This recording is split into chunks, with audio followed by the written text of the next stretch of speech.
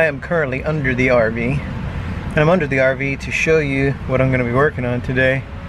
Um, the problem is when the slide goes in it kinks our gas line and it limits the flow to the stove and to the oven.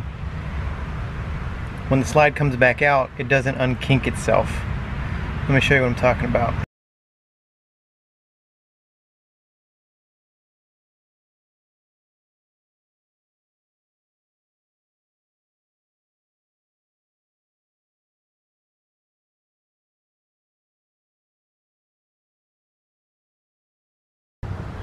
Here's the, the line.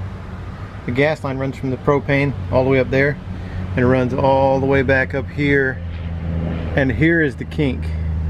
So when this slide comes in, it slides in and it kinks this line. And the problem is, is when it when it pulls the slide back out, it doesn't unkink, or vice versa it unkinks when the slide's in and then it pulls so tight that it kinks it when the slide goes out. Either way, it's kinked and it won't unkink when the slide is out. So what I'm going to do is I'm going to put a, an L connector here so that I can plug this line in this way to prevent this kink. Step one is you're going to want to shut off your propane so you don't blow yourself up.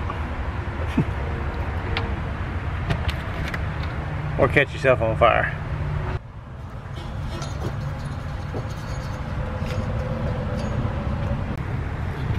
Uh, next thing I'm going to do is I'm going to disconnect this line.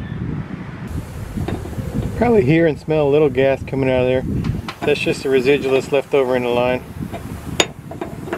Now, this kink must have been uh, kinked for a while because I got this thing off and uh, you can see that it's still it's still kinked pretty good there even though I got that off. So I'm just going to take like a, a pair of pliers and just smash that down a little bit. Uh, just got to be really careful not to uh, puncture that line.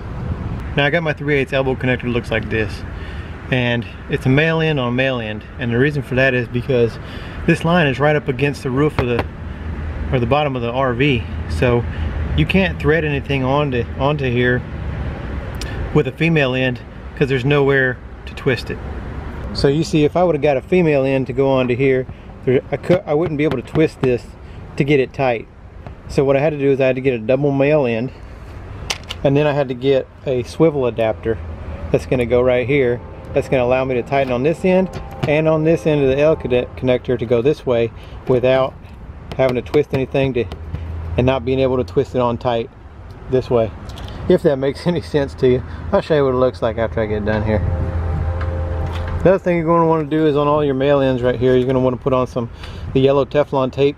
This stuff is specifically for gas lines. It's kind of like plumber's tape, but it's for gas lines and you can get this at anywhere, Home Depot, Lowe's, Ace. Now I got my Teflon tape on all the male ends of all of my fittings. It doesn't take much. Just one little wrap around the threads. Now I'm going to put my swivel adapter on so that I can attach my elbow fitting.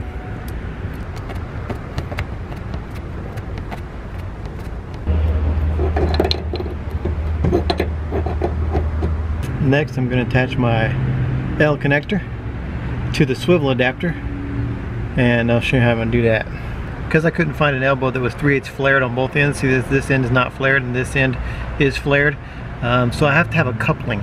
So coupling will screw onto this end and make this other end the bottom end into a flared end also.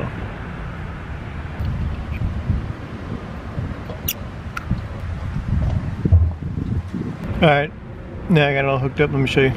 Everything is 3 8 here. So you have your swivel adapter here, you have your L connector here, and then you have your coupling here that hooks back to your line.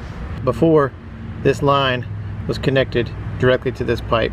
So we didn't have this L connector here which is going to alleviate this kink a little bit. I think I need to smash that back out a little bit with, with some pliers, but and and this this uh, zip tie back here is, is holding it a little bit. I probably need to move that zip tie back a little bit because I am concerned about what this is going to look like once the slide goes in. This zip tie was up here, which uh, keeps tension on this as it's going in, which could kink it.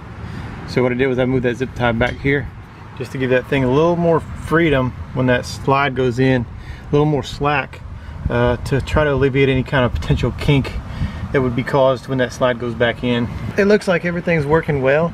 Uh, we'll see what it looks like when the slide goes in.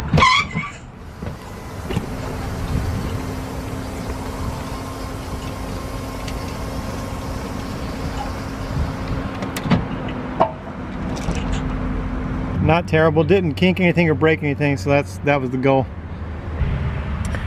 Now I'm going to turn my propane back on. I'm to come back under here and I'm to make sure that I don't have any leaks. I'm to sit down here and I'm to listen for a little bit. And I'm also going to see if I can smell any propane coming through, what it could be any leaks. Another way to do it is to get you some, some soapy water and just rub it over all the, the threads here. And then if you see any bubbles coming from anywhere, you'll know that you have a leak in your line.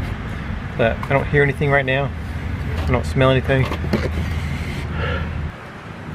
Um, we don't do a lot of how-to videos because I'm I don't really consider myself a handy dude but this kind of stuff if I can do it you can probably do it all these pieces together the swivel adapter the elbow connector the coupling and the Teflon tape all combined was about $20 give or take. Um, it was between 20 and 21 dollars at Home Depot. You can get all these parts at Home Depot Lowe's Menards Ace Hardware. Anywhere you can buy plumbing supplies. It's in the plumbing supplies aisle and less than 20 bucks.